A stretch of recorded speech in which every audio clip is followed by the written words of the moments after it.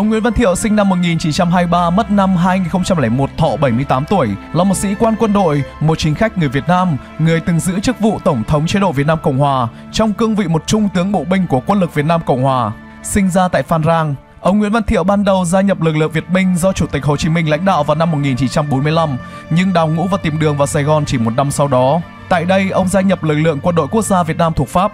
Sau khi người Pháp rút khỏi Đông Dương, quân đội quốc gia dần đổi thành quân lực Việt Nam Cộng Hòa. Năm 1963, Nguyễn Văn Thiệu tham gia đảo chính lật đổ ám sát hai anh em Ngô Đình Diệm, Ngô Đình Nhu. Sau đó ông được thăng cấp bậc thiếu tướng và bắt đầu tham chính. Nền chính trị Việt Nam Cộng Hòa bước vào một giai đoạn bất ổn khi các cuộc đảo chính thường xuyên diễn ra. Bằng cách hành xử khôn khéo, Nguyễn Văn Thiệu leo lên vị trí hàng đầu trong bộ máy quyền lực Sài Gòn giữa lúc các sĩ quan xung quanh ông vướng vào những cuộc đấu đá và thanh trừng nội bộ. Để nắm chắc phần thắng cho cuộc bầu cử năm 1971, ông Nguyễn Văn Thiệu tiến hành áp đặt các quy định mới. Ông Nguyễn Văn Thiệu đã tái đắc cử với 94% số phiếu. Trong thời gian nắm quyền, Nguyễn Văn Thiệu bị chỉ trích là đã làm ngơ trước tệ nạn tham nhũng tràn lan. Ông cũng bị cáo buộc là chỉ bổ nhiệm những người họ hàng hoặc trung thành với mình thay vì những sĩ quan có năng lực vào các vị trí chỉ huy trong quân đội. Trong chiến dịch Lam Sơn 719 năm 1971 và chiến dịch Xuân Hè năm 1972, quân lực Việt Nam Cộng Hòa đã phải hứng chịu những tổn thất nặng nề do sự thiếu năng lực của các tướng lĩnh dưới trướng ông Thiệu.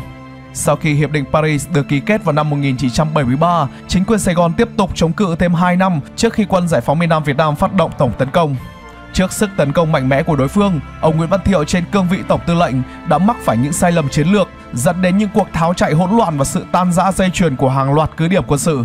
Trong bài diễn văn từ chức ngày 21 tháng 4 năm 1975, Nguyễn Văn Thiệu tuyên bố Tôi từ chức nhưng tôi không đào ngũ và khẳng định rằng ông sẽ tái ngũ và tiếp tục chiến đấu trong vai trò một vị tướng kề bên anh em chiến sĩ.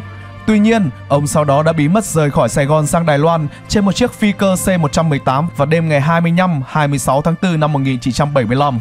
Để cho sự ra đi này được danh chính ngôn thuận, đã có nghị định đề cử ông làm đặc sứ Việt Nam Cộng Hòa sang Đài Bắc phúng điếu Tổng thống Tử Giấy Thạch, người đã qua đời gần 3 tuần trước đó. Cuộc ra đi của Nguyễn Văn Thiệu và các trợ lý diễn ra dưới sự sắp xếp của Thomas Poger, trưởng CIA ở Sài Gòn. Ông Nguyễn Văn Thiệu di tản ra nhiều quốc gia nước ngoài rồi cuối cùng định cư ở Hoa Kỳ cho đến khi qua đời ở Boston, Massachusetts thọ 78 tuổi.